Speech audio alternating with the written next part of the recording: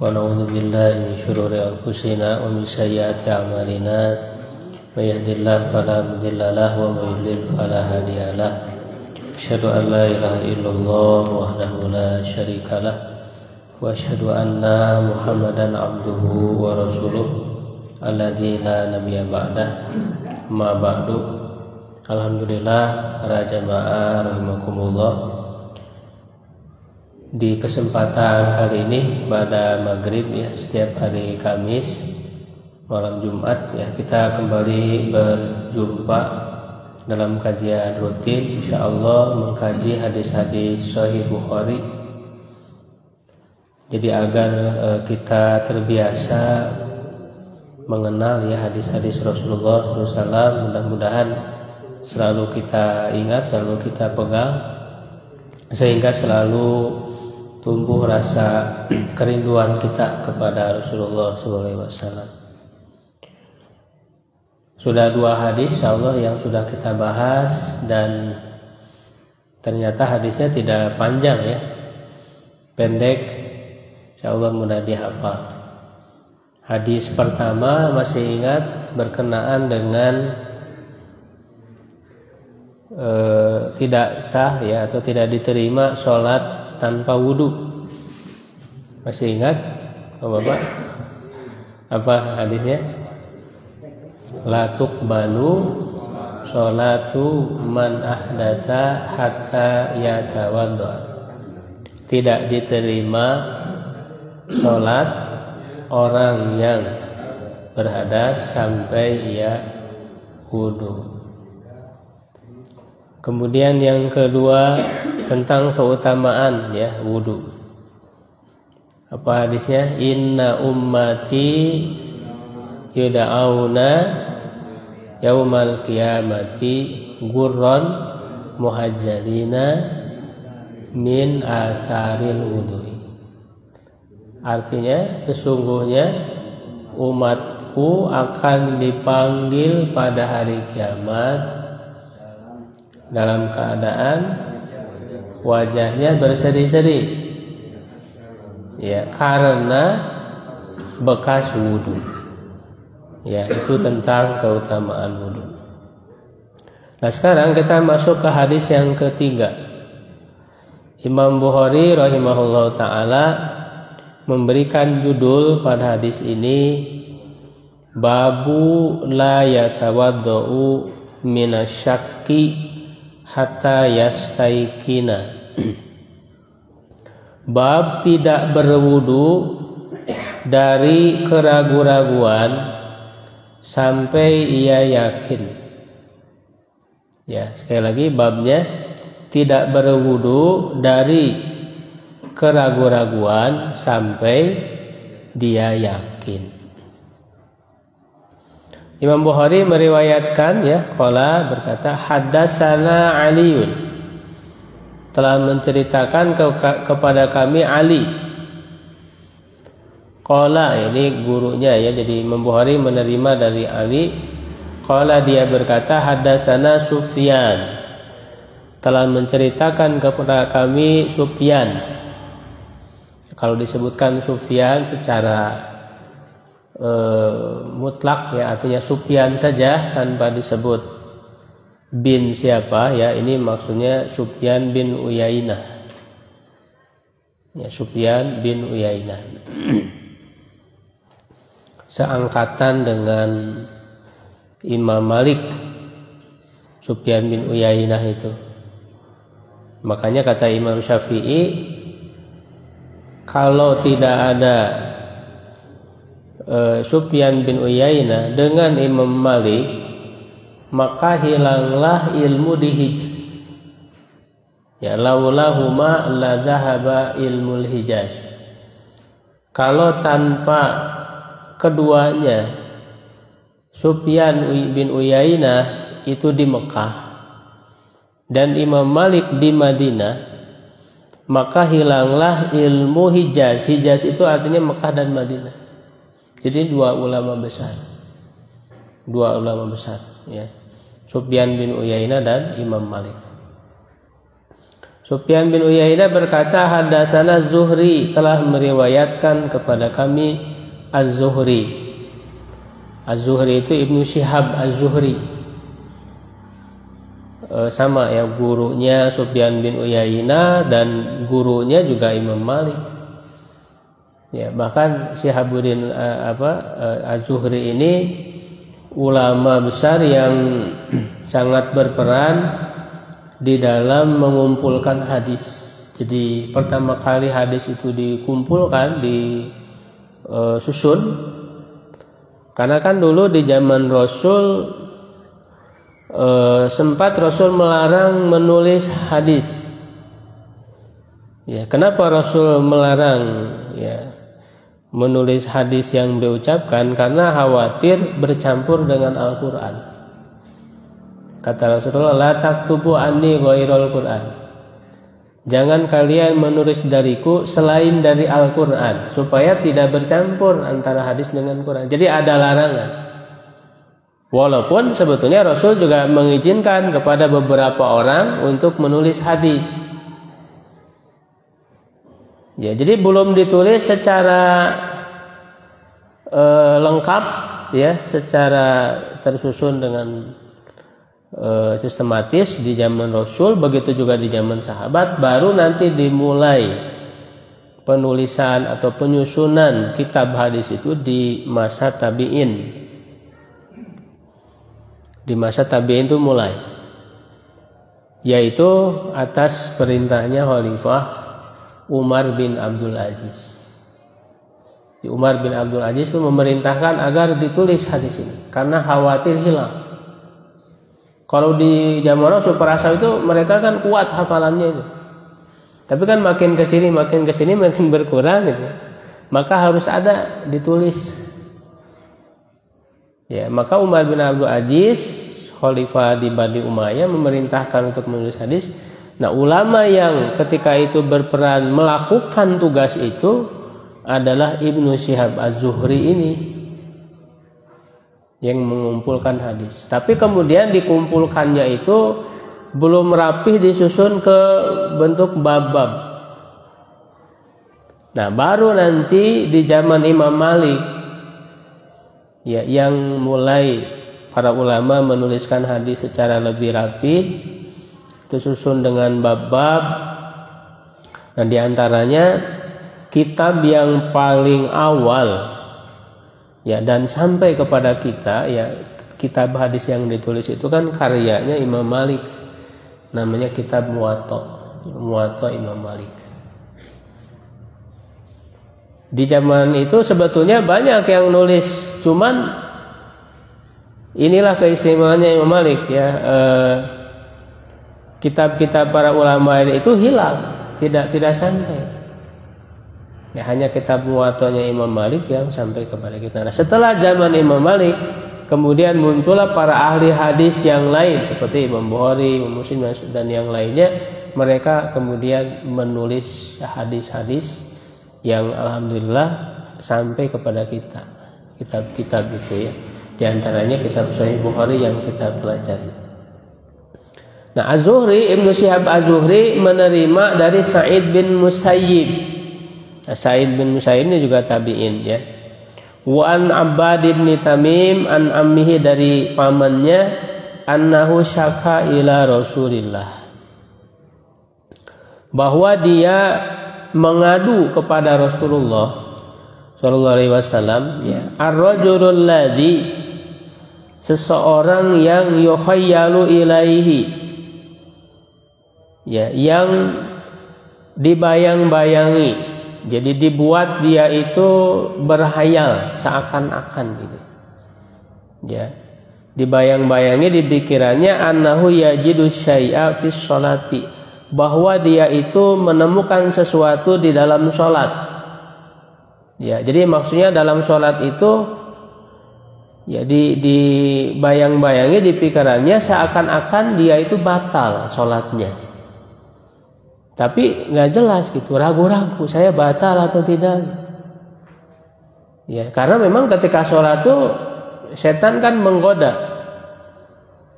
Ya. Nah di situlah makanya eh, perlunya kita bersungguh-sungguh di dalam kehusuan karena eh, setan itu eh, mereka sangat sungguh-sungguh di dalam menggoda manusia itu ya hal-hal yang eh, tadinya tidak terpikirkan pun dalam suatu jadi terpikirkan kepikiran di sholat. Ya. Makanya e, bagaimana ya supaya kita sungguh-sungguh khusyuk dalam sholat? Itu betul-betul dipersiapkan sebelum sholat.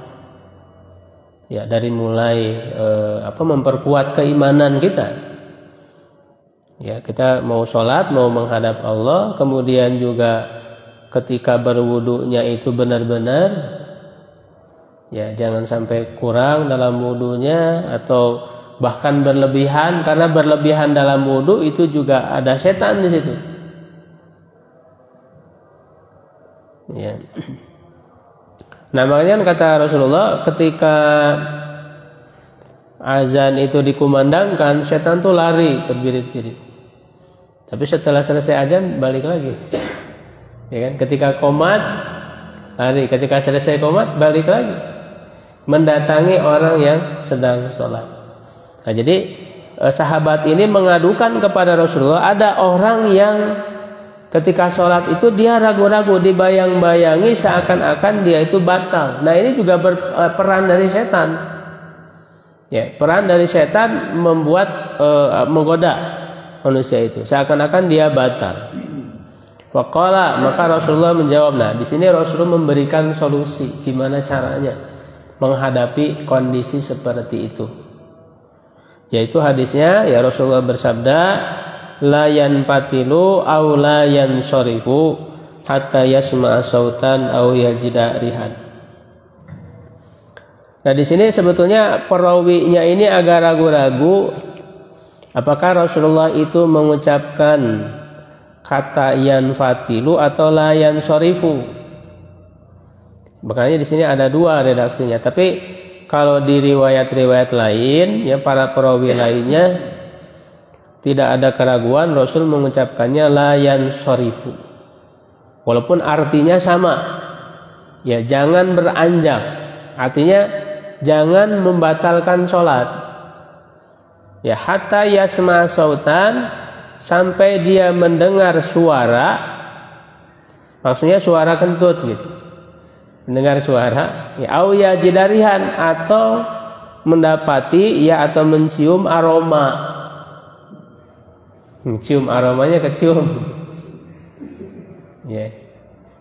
Nah jadi di sini Rasulullah itu memberikan solusi kalau dalam kondisi ragu-ragu seperti itu ya maka yang jadi standarnya jadi patokannya adalah sesuatu yang meyakinkan. Jadi ada bukti gitu. Ya ada bukti ada tanda yang meyakinkan secara fisik. Ya secara fisik yaitu bisa berupa suara kedengeran suaranya. Ya kalau ada suaranya kedengeran yakin berarti batal kan begitu ya atau ada aromanya yang tercium terhirup berarti itu juga yakin sudah batal. Kalau tidak ada tanda seperti itu yang meyakinkan, berarti gimana? Sebab ini ini namanya pemahaman sebaliknya. Ya, Rasulullah kan e, jangan mengatakan jangan beranjak, artinya jangan kamu batalkan sholat kamu, gitu ya, sampai kamu mendengar suara atau mencium aroma. Berarti kalau tidak mendengar suara tidak mencium aroma berarti bagaimana? Ya lanjutkan sholatnya gitu. Sebaliknya gitu. Ya kan? Sebaliknya maka lanjutkan ya sholatnya. Artinya kalau tidak ada sesuatu yang meyakinkan yang membatalkan ya kembali kepada asal. Itu asalnya bahwa dia itu kan sudah wudhu gitu. Ya sesuatu yang meyakinkan bahwa dia sudah wudhu tapi kemudian ragu-ragu apa batal atau tidak. Nah, kita tulis dulu ya hadisnya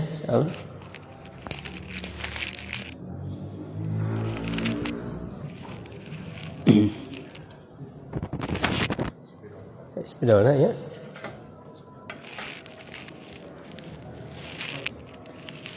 Ya, layan soripu ya. Ini langsung sabda nabinya langsung ya.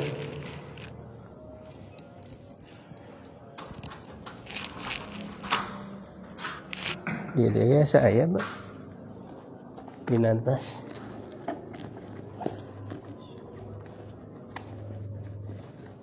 Iya, Pak. Oke.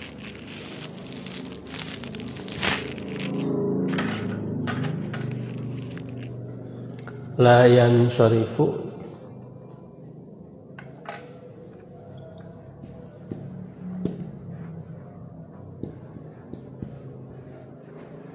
ya hatta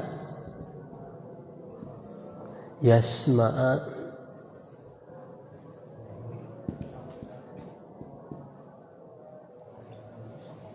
Sautan. Au yajida rihan. Ya. Yeah la ya hatta yasma'a sautan au yajida rihan. Ya coba diikuti dulu ya Arabnya sambil dihafal. La yansarifu hatta yasma'a sautan au yajida rihan Ya, bareng-bareng. Satu, dua, tiga. La yansarifu hatta yasma'a sautan au yajida riha. Artinya la yansarifu jangan beranjak. Ya, janganlah beranjak hatta yasma'a sehingga dia mendengar sautan suara, saut suara au atau yajida mendapati atau mencium rihan aroma. Ya, coba diterjemah la yang sorifu. Terjemahnya janganlah beranjak hatta yasma'a hingga mendengar sautan au atau yajida rihan aroma. Siapa yang baca atau yang sudah hafal? Silahkan.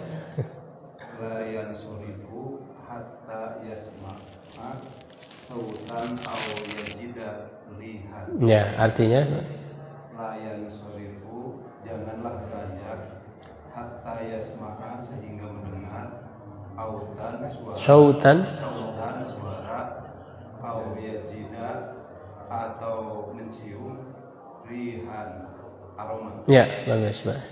Silakan yang lain. Ya, bagus, betul.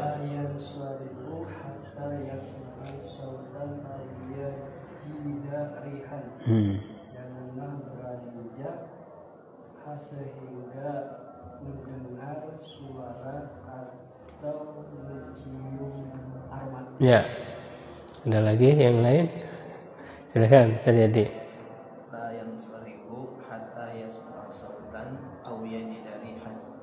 janganlah beranjak sehingga uh, mendengar suara atau uh, mencium aroma. Iya, Pak Mansur.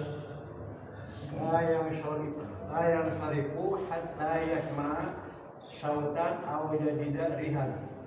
Jangan beranjak sehingga mendengar suara atau mencium rihan aroma. Ya, bagus. Eh? Silakan, Kak Isa. Bangga. La yansarifu la yasma'a sautan aw yamidariha jangan beranjak hak sehingga mendengar sautan suara aw yajida atau mencium aroma. Ya. Bareng-bareng Pak. Satu, dua, tiga. La yansarifu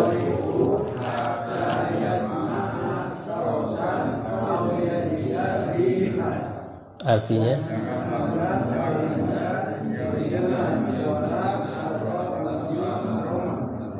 Ya. Nah, ini menunjukkan bahwa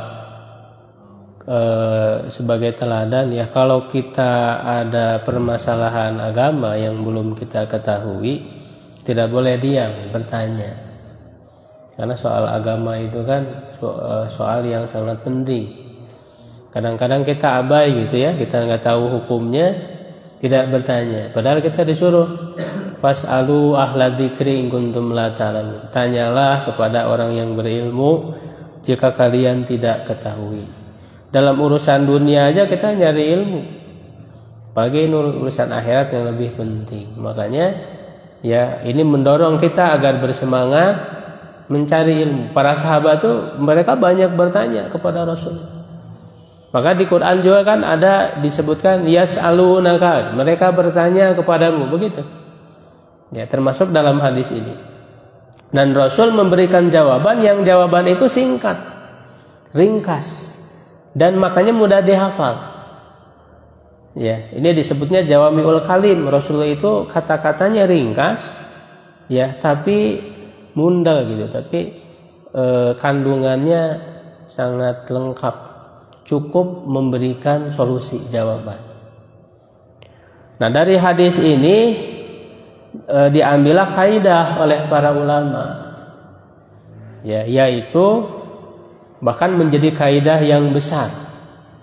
Kaidah besar ini menjadi e, disebut kaidah-kaidah fikih ya.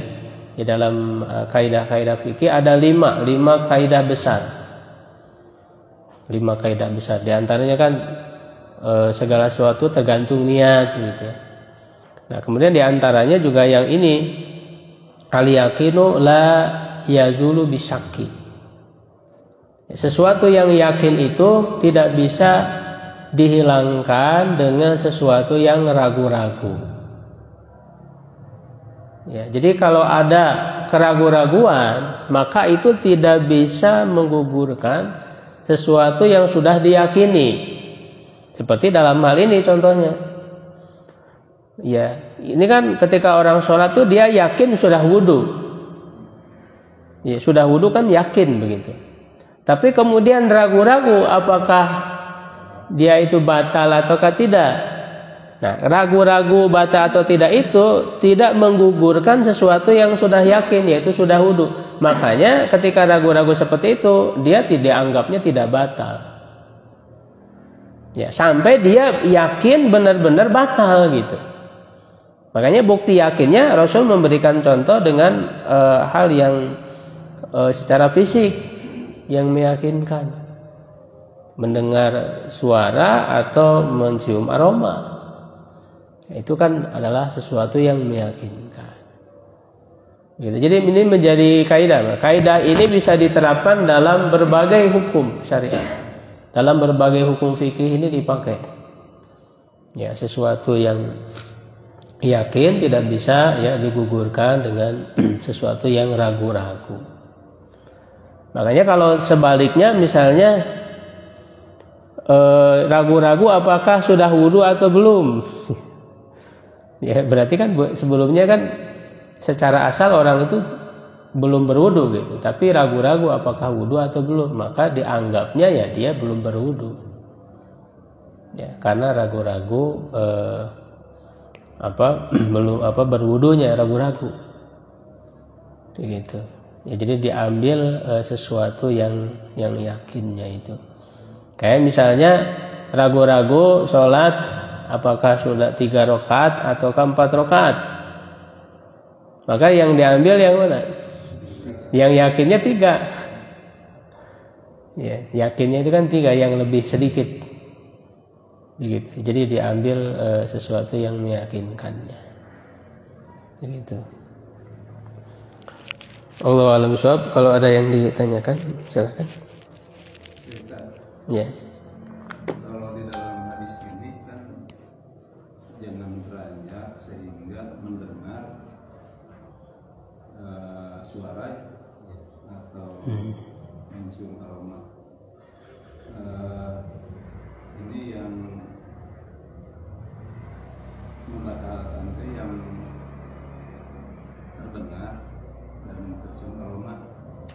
tapi di hadis yang lain fusun au durotun kan oh iya yang Hmm. pas atau Hmm. juga kan iya betul kalau yang tidak pas bersuara terdengar Nah, mungkin saja tidak tercium lagi iya betul itu gimana Ya, jadi eh, apa namanya ini salah satu gambaran saja. Jadi Rasul bukan berarti membatasi harus didengar atau harus tercium. Artinya maksudnya yakin eh, orang itu batal. Ya, nah makanya ketika orang misalnya dia yakin eh, apa namanya keluar angin walaupun tidak tercium aromanya, maka itu batal. Itu artinya dia yakin e, batal. Ya ini hanya salah satu gambarannya saja tidak harus seperti ini pak. Ya jadi maksud dari hadis ini ya orang tersebut itu yakin e, akan kebatalannya itu. Ya bukan harus terdengar ya suaranya. Apalagi biasanya e, orang tidak mau mengeraskan gitu kan. Buang angin ya kan gitu. Iya karena malu. Lagi sedang sholat berjamaah gitu kan. Ya artinya maksudnya yang penting dia yakin. Yakin batal gitu kan. Ya. Silakan kalau ada yang lain.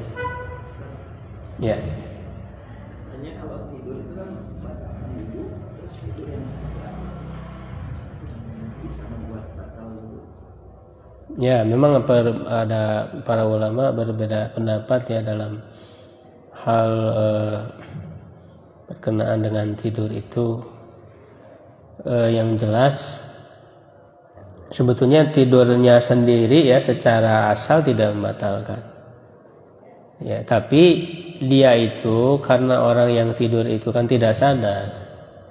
Ya, dikhawatirkan ketika tidur itu berhadas keluar angin begitu. Ya, makanya para ulama membuat batasan, batasan-batasan bagaimana sih tidur yang eh, orang itu tidak sadar gitu, tidak sadar akan keluar. Nah, makanya tidak semua tidur bisa membatalkan kalau tidurnya tidak eh, apa namanya? tidak nyenyak ya atau tidak berat ya ringan tidurnya ringan ya itu tidur tidurnya tidur berat itu patokannya adalah hilang kesadaran. Ya patokannya itu sebetulnya. Ya, ini di antara para ulama ya yang memberikan patokan. Jadi kalau tidurnya itu hilang kesadaran artinya kan dia tidak sadar nanti keluar itu. Berhadas sehingga itu dianggap membatalkan wudhu. Tapi kalau tidurnya itu tidak hilang kesadaran, masih ada kesadaran, maka itu tidak membatalkan wudhu. Makanya kan ada riwayat hadis yang menyebutkan e, ketika para sahabat nunggu sholat isya itu sampai tertidur kan gitu, sampai tertidur dan, dan mereka kemudian sholat tanpa berwudhu. Artinya tidak semua tidur membatalkan wudhu. Ya, nah maka para ulama membuat batasan di antara yang bisa kita pegang adalah tidur yang membuat orang itu tidak sadar. Nah, itu baru membatalkan. Ya, contoh tidak sadar itu para ulama ketika di zaman itu eh, apa namanya? Misalnya ada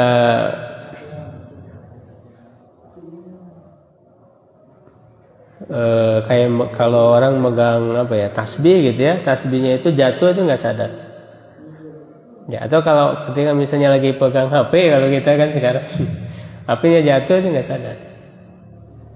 Ya. Atau kalau zaman dulu itu eh, karena dinding itu sedikit ya terbatas atau tiang-tiang itu kan mereka sambil bersandar ya mereka eh, membawa sendiri ya untuk seperti kayak bantal gitu untuk menyangga, nah si bantal penyangganya itu jatuh itu nggak sadar. Ya, tidak sadar. Nah, jadi patokannya adalah eh, tidurnya itu membuat dia tidak sadar. Gitu ya.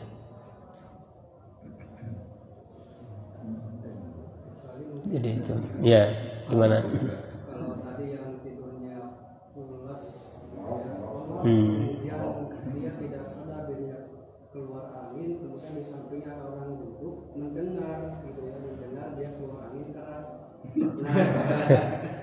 ketika itu kesaksian mana yang didahulukan? Nah, kan orang yang tidur nggak membatalkan wudhu misalnya. Terus mendengar yang di sampingnya itu ah tadi saya dengar kamu teh keluar angin. Iya. Maksudnya didahulukan mungkin yang saksi itu ya? Iya saksinya ini. Ada saksi yang mendengarnya itu bisa dijadikan eh, ini patokannya. Ya. Kalau ini kan masalah kentut kan ya, ya terdengar atau enggaknya. Jadi gimana kalau yang kencing dan berdasarkan dia itu sakit. Kadang-kadang sa- eh, kencing itu eh, nggak terasa. hmm. Misalnya karena penyakit pak satu rokaat lagi kalau misal empat rakaat duhur nah, terasa ada yang keluar kencing Hmm. gimana? ya Tapi nah itu ya memang sakit orangnya gitu, Hmm. sakit. Nah, kalau untuk yang punya penyakit, Pak, penyakit apa itu namanya ya? Eh? Kayak prostat gitu. Prostat ya. Jadi ya. keluar terus ke air Oh, kencing. gitu. Maka itu termasuk sesuatu yang eh, uzur. Ya, dibolehkan oleh syariat, ditoleransi. Makdur gitu ya. Kalau dalam kondisi sakit makanya eh kalau terus-terusan Mbak ya, kalau terus-terusan ya, makanya kan sholatnya pun itu diakhirkan Pak antara zuhur dengan asar. Jadi zuhurnya itu diakhirkan mendekati waktu asar. Sehingga nanti setelah selesai zuhur itu kan nyambung ke asar dekat itu bisa dijamak. Bagi orang yang punya penyakit seperti itu. Begitu juga maghrib ke isya. Ini sama hukumnya dengan wanita yang istihadah, darah istihadah itu darah penyakit yang keluar terus. Gitu. Nah, jadi e, secara asal memang itu kan membatalkan. Tapi karena kondisinya darurat ya, karena penyakit itu yang terus menerus gitu, tidak pernah berhenti, maka syariat memberikan kelonggaran. Ya, karena kan syariat ini prinsipnya itu memudahkan ya, tidak memberatkan. Ya, tidak memberatkan. Makanya disiasati tadi seperti itu. Jadi di apa di akhir waktu eh, zuhur misalnya lalu asarnya di, di awal waktu, tapi tetap di waktu masing-masing gitu. Di waktu sholat zuhur tapi akhir. Sholat asar di waktu asar tapi di awal gitu. Sehingga nyambung ya tidak dan e, jedanya tidak terlalu lama. Wudhunya pun e, jangan lama gitu. Maksudnya bentar sebentar lagi mau sholat baru wudhu gitu. Supaya e, tadi waktu e, apa singkatnya sholatnya itu tidak tidak ada jeda waktu yang lama. Karena tadi akan keluar lagi kan gitu. Air kencingnya atau darahnya akan keluar. Nah, ketika di salah-salah kita sudah berusaha seperti itu, ketika di salah-salah sholat ternyata keluar, itu nggak masalah, tidak membatalkan. Ya keluar air kencing atau keluar darah itu tidak membatalkan sampai selesai sholat. Kalau memang benar-benar eh, penyakit, ya kalau memang benar-benar penyakit. Ya, dia disiasati. Gitu. cara menyadarkan orang itu kentut tapi dia nggak sadar gimana? Ustaz? cara oh, orang nggak sadar. Kita lupa kan? Tapi kita mendengar tapi dia nggak beranjak ke belakang. Hmm. ya ngasih tahu orang itu ya yang batal itu ya gimana ya caranya? Waktu dia sedang sholat pak yang mendengar juga sedang sholat. Eh itu nggak ya nggak bisa. Paling nanti setelah selesai sholat aja kasih tahu. Kalau sedang sholat kan nggak bisa ngasih tahu. Malah dia jadi batal sholatnya kan? Sholat dia malah jadi batal. Jadi selesai dulu sholat. Nah nanti setelah selesai sholat orang yang tadi kentut atau bisa jadi nggak ngaku lagi. Gitu kan? Kalau memang dia ngaku diingatkan kan tadi kentut misalnya ternyata dia menyadari ya dia harus mengulang lagi sholatnya. Ya karena itu syarat. Jadi kalau kalaupun lupa ya ketika ingat harus diulang lagi. Karena tidak sah sholatnya. Kan hadisnya yang pertama itu. Tidak diterima sholat orang yang berada sampai dia berwudu. Gitu. Selama ingat harus diganti kecuali kalau nggak pernah ingat sampai hari kiamat sampai eh, sampai meninggal gitu. Nggak ingat-ingat ya sudah itu berarti dimaafkan toleransi. Gitu.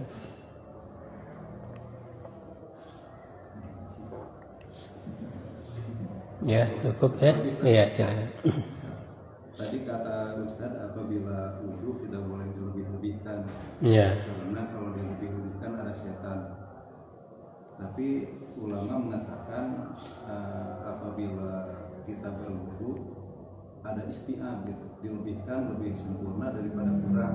Karena Hmm. kalau yang kurang harus diulang. Gimana itu dilebihkan di situ istiab itu artinya untuk supaya eh, tercakup semua ya terbasuh semua Satu, dua, tiga kali. ya tiga kali maksimal maksimalnya tiga kali jadi maksud eh, kayak itu disebutnya isbag ya isbagul wudhu jadi betul-betul sempurna semua anggota badan itu kena. Nah bagaimana cara supaya kena semua penuh semua? Misalnya mencuci apa wajah. Bagaimana caranya supaya full penuh? Otomatis dilebihkan sampai ke kepala Gitu. karena tidak mungkin bisa mencuci wajah secara sempurna kalau tidak terkena sedikit bagian dari kepala. Berarti kan mele- lebih Pak, ya? Jadi melebihi sedikit. Karena kalau terlalu pas tuh sulit nggak akan bisa. Terlalu pas gitu wajah aja nggak akan bisa. Makanya dia harus dilebihkan ya terkena kepada anggota lain gitu. Ya yang ada di sisi-sisinya.